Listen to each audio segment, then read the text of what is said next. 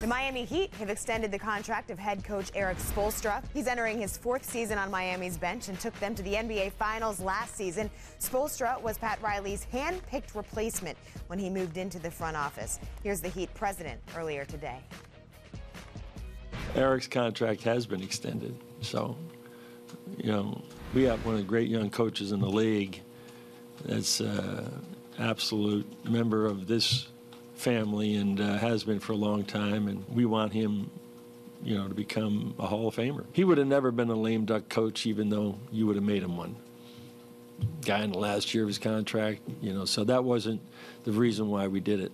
You know, the reason why we did it is we wanted to extend him and keep him in the family, and not, you know, have somebody come and uh, steal him away from us.